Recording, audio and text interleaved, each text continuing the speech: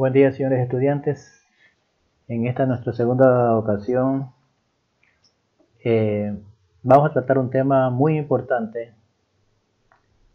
en, la neurología, que es el cráneo hipertensivo. Esta entidad se encuentra ligada a muchos cuadros patológicos de la, eh, de la neurología.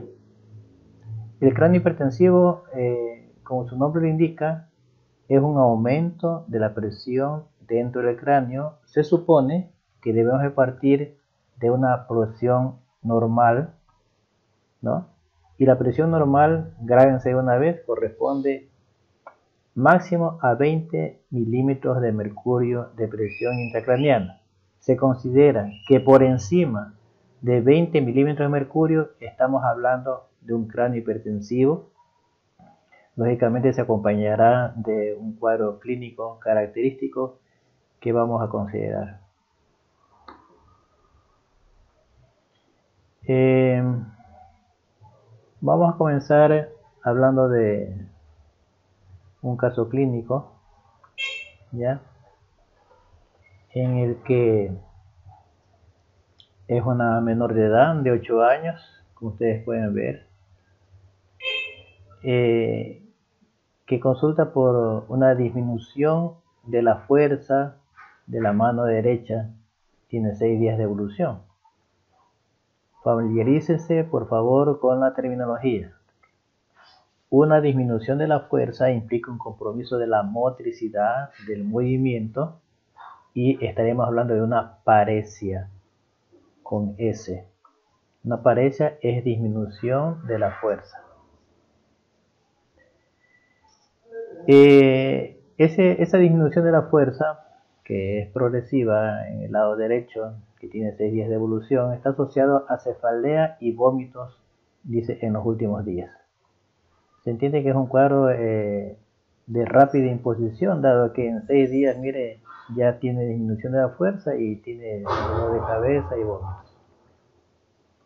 Como antecedentes, eh, en anamnesis, el paciente relata padecer cefalea intensa y persistente, holocefálica, significa que es generalizada en el cráneo, permanente, y que se exacerba al despertar y al realizar cambios de posición y que no disminuye con los analgésicos.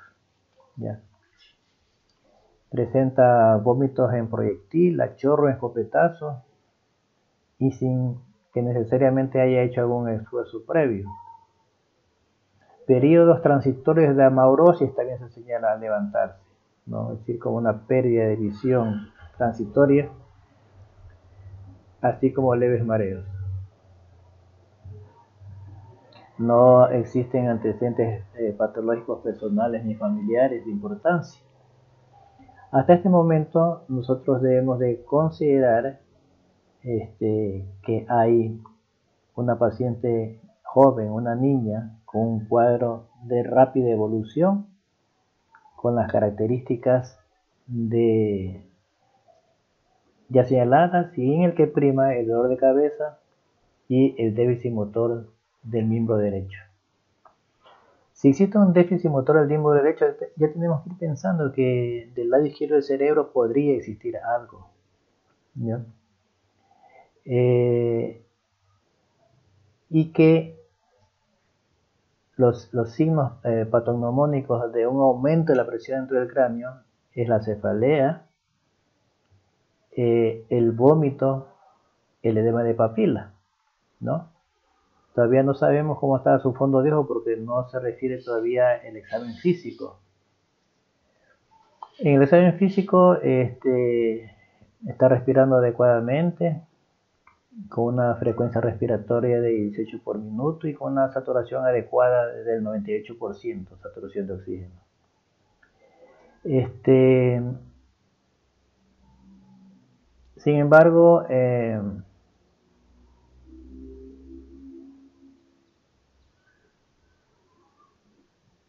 ella presenta un deterioro brusco de su estado de conciencia. Ya tendrán que ir leyendo qué es el Glasgow que es la escala que vamos a utilizar para ver el deterioro de la paciente y considerando principalmente su estado de conciencia.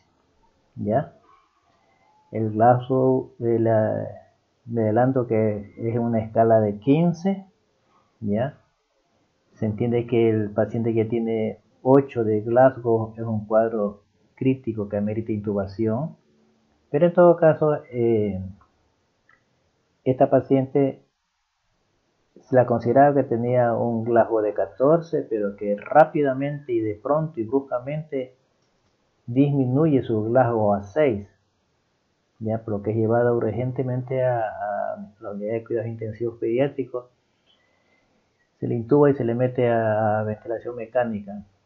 Y se evidencia que existe una parecia de su mano derecha, es decir, su miembro superior derecho, y un fondo de ojo que se le realiza, que es uno de los datos que nos faltaba para concluir que tiene un cráneo hipertensivo, de estas características en las que podemos observar unos vasos filiformes con una papila óptica eh, con bordes difuminados, ¿no? Eh, que nos hace pensar o que nos indica que en realidad existe un edema de papila que se suma a los otros signos de vómitos y de cefalea y que eh, ya se enmarca en lo que llamamos un síndrome de cráneo hipertensivo. Aquí podemos ver un estudio tomográfico en el que se logra observar esta estructura redondeada, bien limitada, pero que está rodeada de una hipodensidad, ya en el hemisferio eh, izquierdo, la región parietal izquierda, ya. Incluso en tomografía podríamos hasta medir cuánto cuánto es, esta, tipo de densidad que es bien limitada, con gran edema eh, perilesional, un edema difuso, un edema eh, seguramente vasogénico, inflamatorio. Aquí podemos ver esta resonancia en la que definitivamente podemos observar eh, esta estructura quística. Aquí está llena de líquido con edema perilesional. ¿Ya? Eh, y en la que ya nos se agrega a, a los datos para eh, ir emitiendo presunciones diagnósticas. Debe de considerarse esta niña dónde vive, cuál es la zona, qué enfermedades características hay, ¿no? Este es un proceso ocupativo quístico en los que eh, lógicamente debe considerarse varias posibilidades eh, y entre otras eh, las parasitarias sin descartar que existen problemas quísticos tumorales. Debo decirles que los, en cuanto a tumores, en los niños y adolescentes priman los tumores a nivel de fosa posterior. En este caso es una niña y sin embargo tiene este componente quístico supratentorial parietal izquierdo. Lo que eh, eh, es uno de los datos que nos, nos podría ir alejando de esa otra presunción. Entonces aquí describe la tomografía, ¿no? Eh, que muestra lesiones hipodensa, dice, intrafranquimatosos que se realzan de forma periférica tras la administración del contraste y que no hay desplazamiento en la línea media. ¿Ya? Hicieron pruebas complementarias, hemograma, bioquímica, gasometría, proteína C reactiva, negativas. Ya, ya hablé sobre la resonancia magnética, ¿no? Y aquí lógicamente eh, ya comienzan a considerar la posibilidad que se trate de un cisticerco en etapa quística.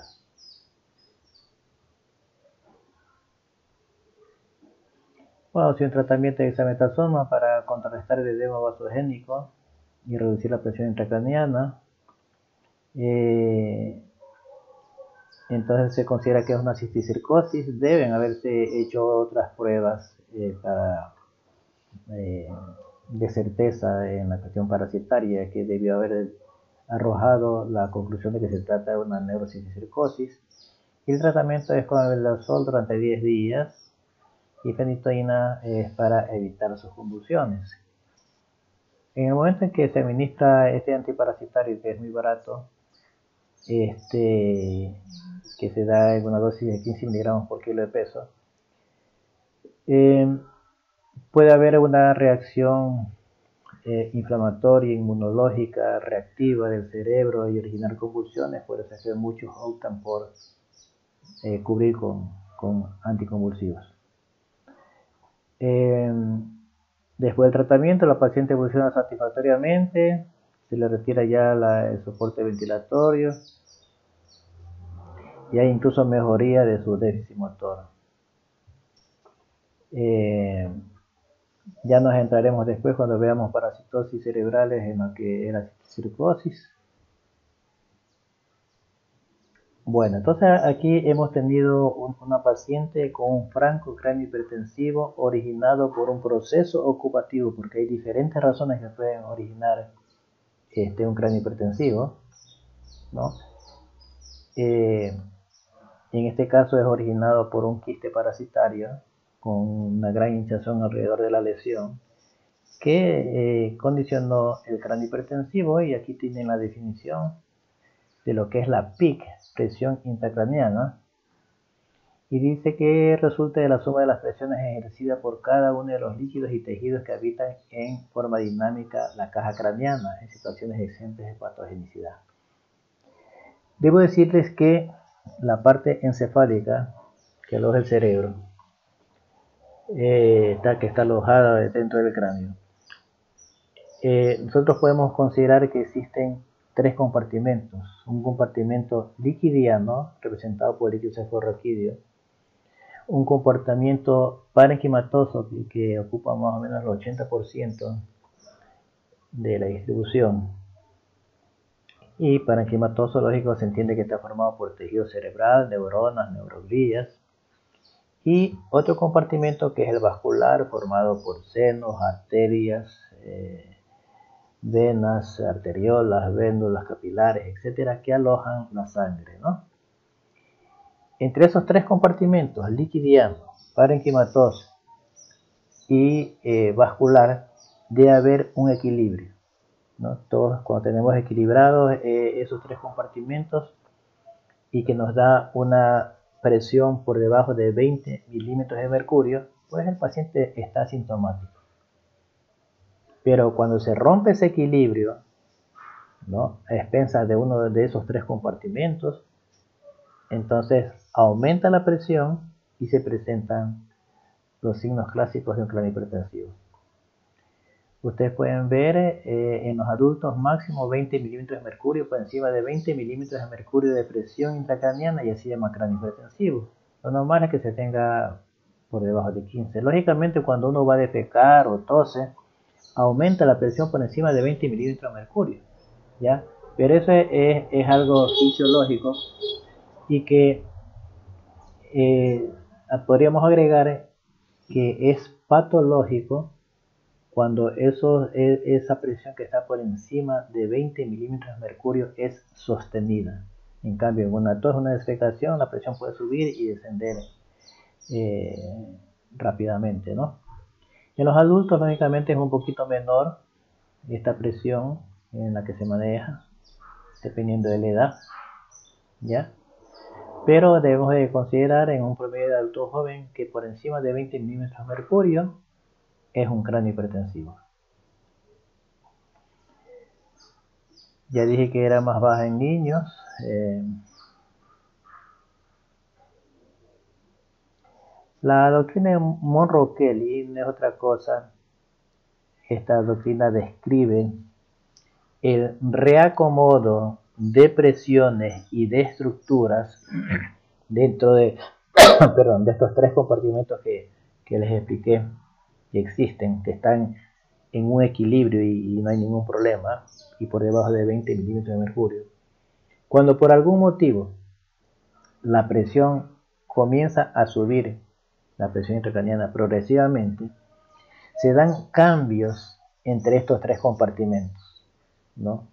Comienza, qué sé yo, a producirse un poco menos de líquido cefalorraquídeo, el líquido cefalorraquídeo desciende más a los espacios que son eh, caudales, ¿ya?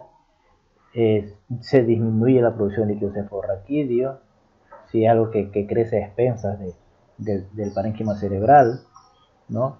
Este, puede ser que disminuya la, la presión venosa, es decir, que el, cerebro se encarga de drenar más el contenido venoso para facilitar ese, ese nuevo eh, espacio que, se, que, están ganando, puede ser a expensas del tejido eh, parenquimatoso, ¿no? Entonces comienza a haber ese reacomodo de presiones y de estructuras hasta que finalmente ya, ya no, no se resiste más, se rompe ese equilibrio y se presenta los síntomas. Por lo tanto, la, la, ley de Monroe-Kelly este, no es otra cosa que, que, la búsqueda de una estabilización de, de, ese balance, de compensar presiones en los diferentes compartimentos que les dije, ya es un, un momento previo a que se presente el cráneo hipertensivo, ya y que lo podemos aquí representar con, con esta fórmula, ¿no? en la que existen los tres compartimentos. Bueno, aquí vemos cómo el volumen eh, del cerebro está determinado en un 80% por el parénquima, en un 10% por el líquido cefalorraquídeo y 10% por la parte vascular. ¿Ya? en un total de un peso de 1200 a 1400 en cuanto al parénquima cerebral. Ya. Y vemos que el volumen interno fijo del cerebro es de 1400 a 1700 mililitros. El fluido líquido cefalorraquídeo corresponde al 70%. La sangre al otro 10%. Y el parénquima cerebral al 80%. Esto explica pues esos reacomodos cuando es expensa del parénquima, ganada de espacio a expensas del parénquima, ganada de espacio a expensas de la parte eh, vascular o ganada de espacio a expensas del líquido cefalorraquídeo. ¿no? Aquí tenemos en este caso como esta estructura que eh, es una masa intracraneana ¿no? obliga a que estos, eh, a disminuir el espacio ocupado por estos elementos, ¿no?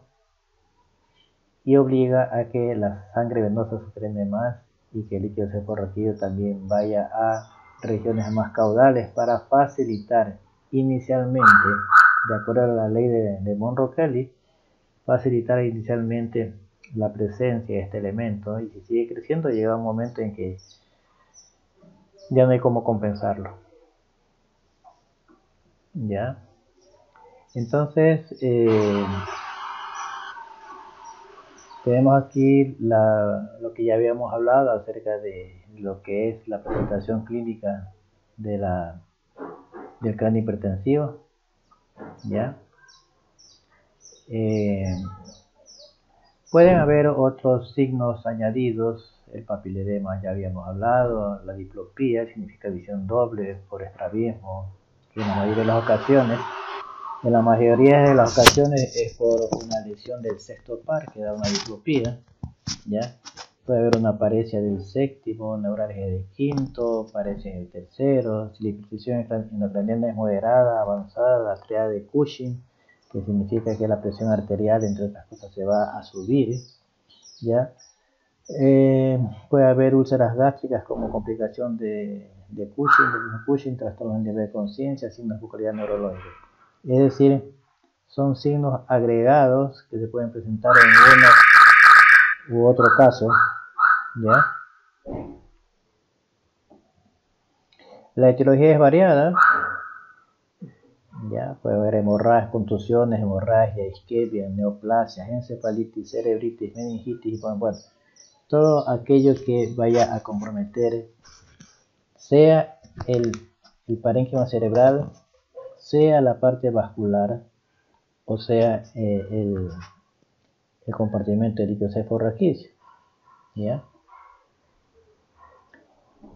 Esto es en cuanto al parénquima. En la parte vascular puede ser eh, eh, corresponder a la parte venosa o arterial. En cuanto al líquido cefalorraquídeo, un ejemplo tenemos la hidrocefalia. Y otras como cuerpo estaño, cráneo sinostosis, que es cierre prematuro de las membranas que evita que se expanda el cerebro y que crezca adecuadamente. ¿Ya? Tumores óseos, neumoncéfalo, etc. Ustedes pueden ver que en todo caso aquí están los tres compartimentos el parénquima, el compartimiento vascular y el compartimiento líquido y una serie de patologías que pudieran ser las que condicionen el origen del problema. Eh,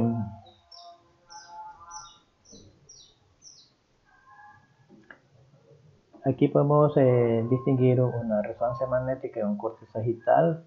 Miren, estos son componentes aireados del seno frontal de comunidad, cuerpo calloso, forni, mesencéfalo, aquí está el tálamo, protuberancia, raquídeo, médula, la columna vertebral.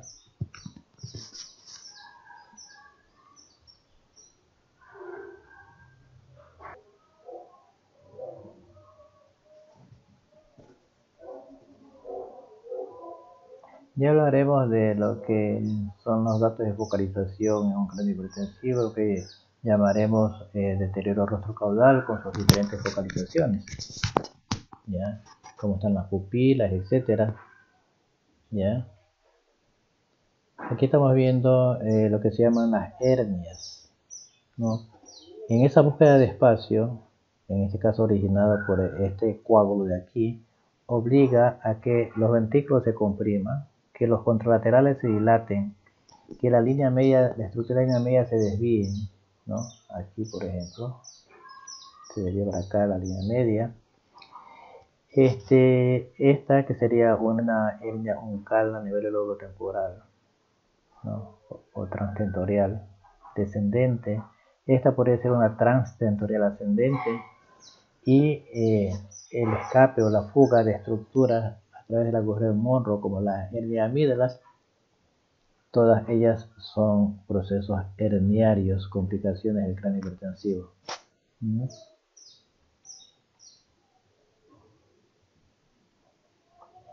De manera general, habremos de considerar que el cerebro mm, corresponde al 2% del peso corporal, pero sin embargo, eh, el gasto cardíaco que es la sangre que es movida por el corazón en un minuto, de esa sangre el 15% del gas cerebral.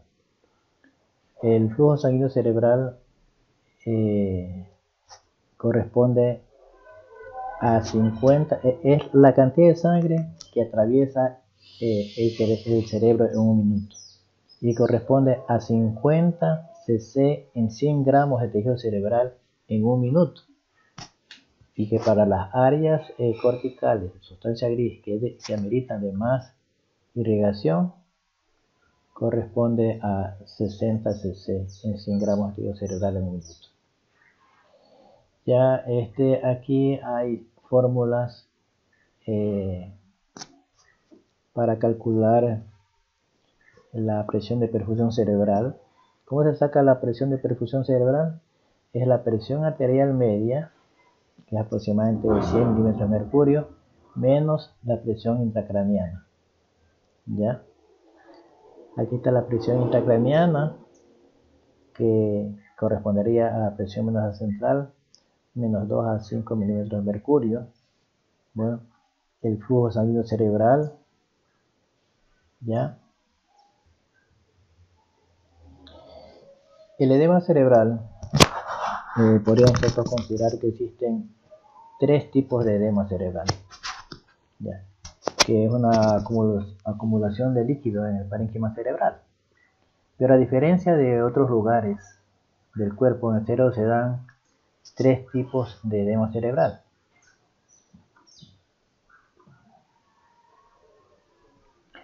Y esos son el edema vasogénico. Para que se dé el edema vasogénico, que no es otra cosa que la extravasación de líquidos por una ruptura de la barrera hematoencefálica. ¿ya?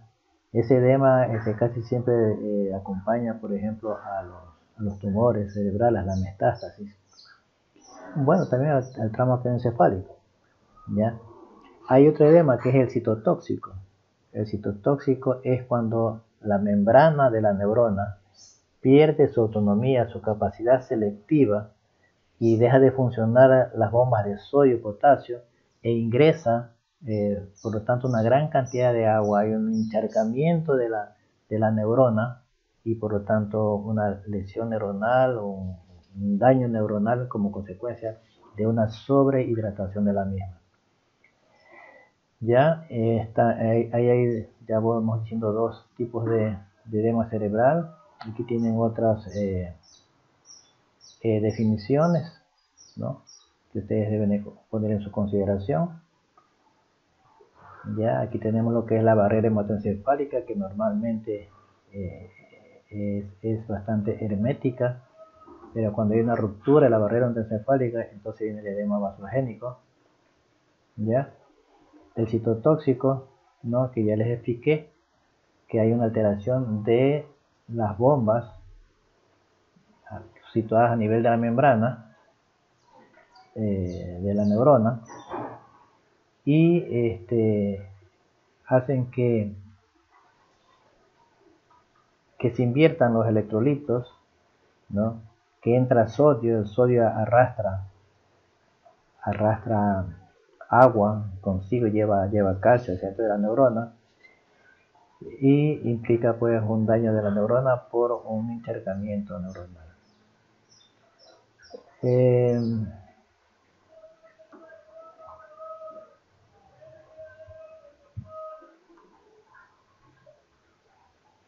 esto es lo del edema vasogénico, aquí estamos viendo una lesión, ¿ya? que, y que se rodea de un gran edema que origina eh, varios procesos herniarios, degresión de línea media, eh, colapso ventricular del sistema ventricular, ¿no? Y el edema hidrostático, que es el que me hace falta eh, señalar, ¿no? que es el edema con lo que se presenta en la hidrocefalia, en la que este líquido, por la presión de, líquido ceporraquillo que se encuentra dentro de los ventrículos vence la pared ependimaria y eh, existe una salida de líquido ceporraquillo del parénquima cerebral. E, ese, ese es el, el edema hidrostático tras ependimario. Aquí vemos una gran dilatación ventricular, hidrocefalia. Miren cómo está el, tercer ventrículo agrandado, todos los ventrículos laterales y todo este aquí, que es el edema eh, transpendimaria. Las hernias de alguna forma ya, ya las hablamos, tenemos aquí un gran componente eh, de hematoma epidural. El hematoma epidural se caracteriza por ser una colección, en la mayoría de ocasiones este, por ruptura de la meninge media o una de sus ramas, ¿ya? por lo tanto es arterial, puede matar a un paciente en cuestión de minutos, cuando no es evacuado a tiempo. En la mayoría de ocasiones se presenta en personas jóvenes, un corte coronal en la que podemos ver aquí el hematoma este proceso herniario cal, ¿no? Y a este nivel también la amígdala comienza a descender, esta es otra hernia, comienza a descender por el agujero magno. Acá también esto condiciona un desplazamiento eh, subfacial del el cíngulo, ¿no? Por debajo de la hoz del cerebro. Eh, este es el homúnculo de Penfield con sus representaciones motoras en este caso. Ya hablamos de la hernia subfacial acá abajo. Subfacial del cíngulo es cuando el, el cíngulo que está en la cara media del cerebro se mete por debajo de la hoz del cerebro. Puede comprimir la arteria pericallosa originando compromiso de la motricidad de los miembros inferiores. La otra hernia es la, la del agujero Monroe ¿no? Acá, o la hernia amigdalina. La amígdala tiene que estar por encima de la agujero de y sin embargo aquí se mete y comprime el para originar un paro cardiorrespiratorio irreversible.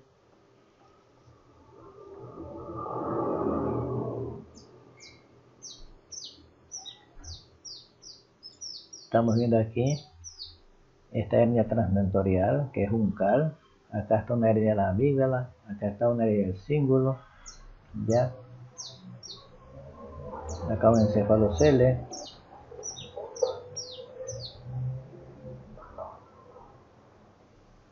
Miren cómo esta hernia cal comprime la parte anterior del mesencéfalo. Eh, va a dar seguramente eh, un compromiso del tercer par, ¿no? y un déficit motor contralateral. ¿No? Habrá en este caso un déficit del lado derecho con una dilatación pupilar del mismo lado izquierdo. Es un proceso herniario llamado hernia del uncus, ¿ya? que es este de aquí. Están viendo aquí cómo se mete la región temporal aquí, hernia uncal. Ya. Miren si la presión pupilar, bueno, está aquí debe ser algún otro problema porque ningún paciente que tenga una hernia uncal va a estar despierto, ¿no? Pero aquí se ve una anisocoria predominio del lado izquierdo.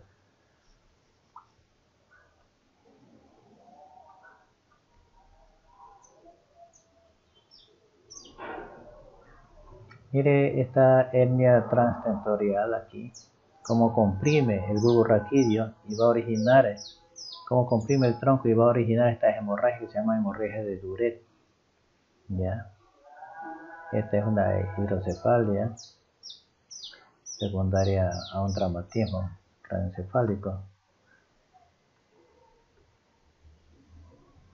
Miren aquí hay una lesión que origina un proceso herniario este, subfacial. Podría, ser compatible con un absceso ¿no? esquístico, bien limitado y con edema prelesional. Si efectivamente se trata de un absceso, lóbulo frontal. ¿Ya? La hernia de las amígdalas, las amígdalas forman parte del cerebelo.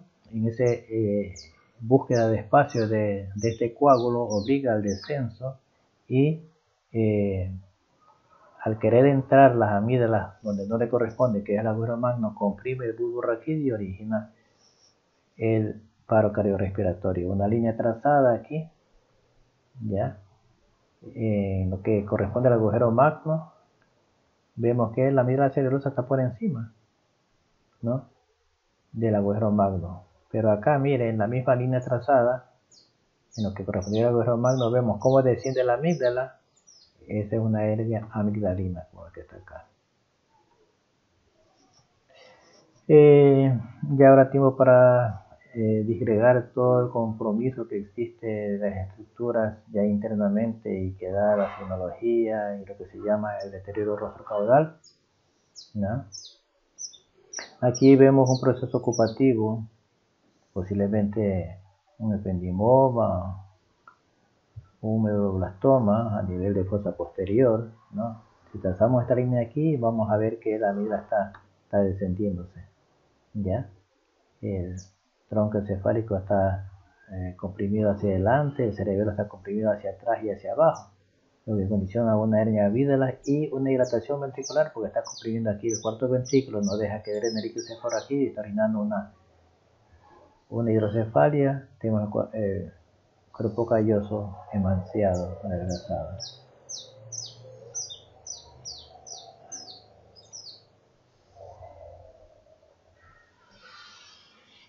Entonces, cefalea, edema de papila, vómito cerebral, este, entero principal que forma el cuadro clínico de un cráneo hipertensivo. La cefalea, a veces es descrita como locraniana, ya eh, en la mayoría de las ocasiones. ¿no? Es, permanente, se exacerba con los cambios de posición, cuando se puja, ¿no? Este, y puede ir acompañada de vómitos y edema de papila que forma el síndrome cráneo hipertensivo. El vómito en ciertas ocasiones, o la mayoría de las ocasiones, no va precedido de náuseas, ¿no? Es un vómito neurológico, un vómito de escopetazo. Eh, más aún, más presente en los procesos ocupativos de fosa posterior y es patognomónico en estos eh, neoplasias en niños y en jóvenes. En adultos se ve compensado por atrofia eh, cortical por envejecimiento, entonces el cráneo hipertensivo eh, no es tan agresivo como comparativamente con los niños. La somnolencia, la falta de atención puede también ser otro de los signos.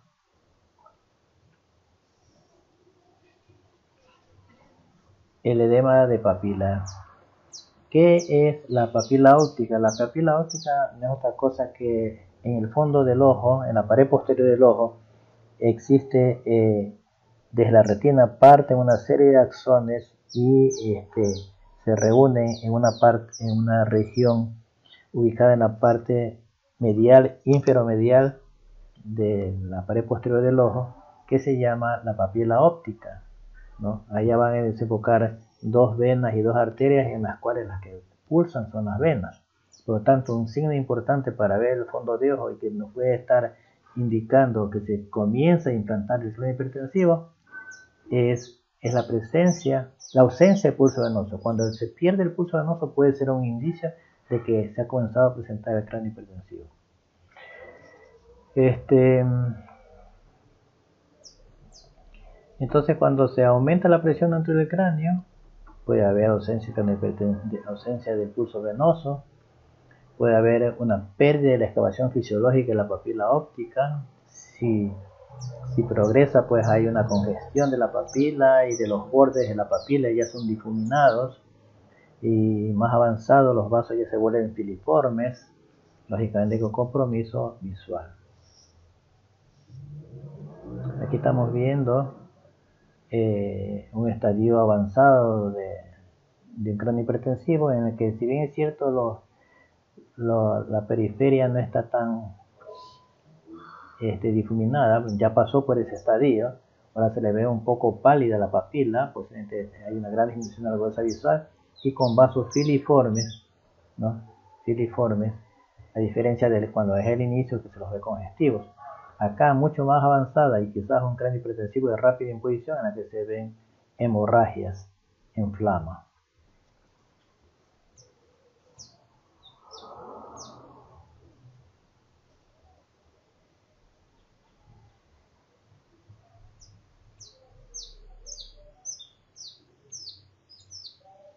Bueno, en, un, cráneo hipertensivo ya avanzado, ya, ya no está congestiva la papila, sino que la papila óptica está atrofiada y se la ve pálida, se la ve blanca, y el paciente posiblemente tenga muy disminuido su capacidad para ver.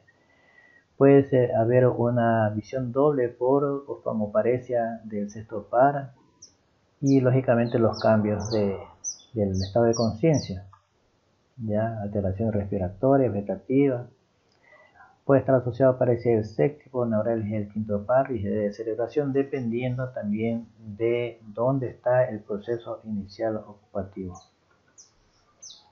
Miren este de papila, ¿no? Eh, no se ve el borde neto, se ha perdido la capacidad, la, excavación fisiológica, ya no se ve una, una papila homogénea rosadita, está todo eh, alterado y los vasos que ustedes ven son vasos muy delgados, vasos filiformes. Acá ya dijimos que son hemorragias retinianas por aumento de la presión turecránea. ¿ya?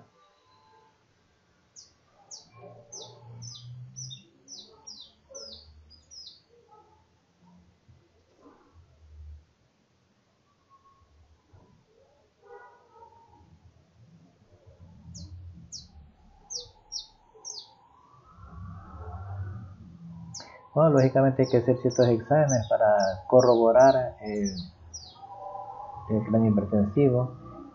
Esto está contraindicado cuando a la imagen tomográfica existen datos de herniación, porque podemos precipitar este, el proceso herniario, ¿no? Previamente habrá que hacer un estudio de imagen para descartar un proceso expansivo con hematomas, tumores, acceso, hidrocefalia. Aquí hemos un hematoma epidural, característica biconvexo, como les dije, más en jóvenes, de origen arterial, relacionado con la ruptura de la meningia media. Acá en cambio vemos un, un, este, un proceso ocupativo quístico de cerebelo, ¿ya? Este, que puede ser un astrocitoma pilocítico, ¿ya? Esquístico cerebeloso y que solamente está originando un proceso herniario de las amígdalas. Esto, eh, de acuerdo al cuadro clínico, pues habrá que considerar la posibilidad de que sean procesos metastásicos múltiples, un hidrocefalia, aumenta el tamaño de los ventrículos. El segundo paso dice, si descartamos procesos expansivos, nos podemos apoyar en la sintomatología para tomar nuevas medidas. Si hay una hipertensión arterial maligna, una encefalopatía hipertensiva, antecedentes tóxicos, esto ya depende de, eh, del interrogatorio, ¿no? Que es que es un problema vascular, que es que es una hemorragia cerebral, que es un proceso infeccioso, ¿ya?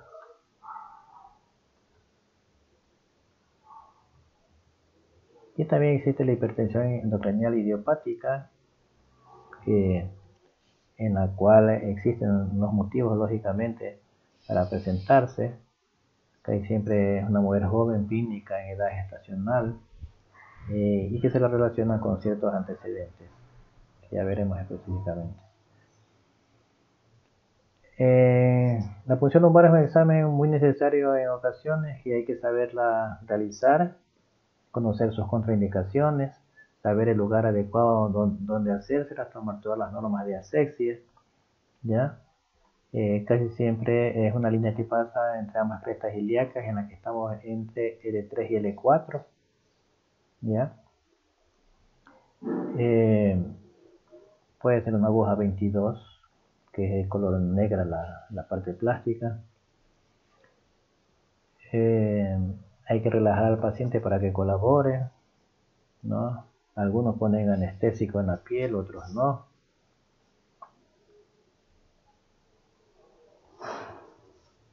Aquí están los diferentes tipos de, agujas. Esta seguramente es la 22, que es color negro. Aquí estás viendo cómo sale un líquido santo crónico. Posiblemente tuvo una ruptura de aneurisma, a lo mejor estoy suponiendo este santo crónico, este sanguinolento cuando el sangrado es reciente, santo crónico cuando ya pasado algún tiempito, eh, blanquecino pero palescente, este puede ser un proceso infeccioso, ¿no? Ya hablaremos después de la característica del líquido cefalorraquídeo, hoy, hoy no es el momento. Muchas gracias, compañeros.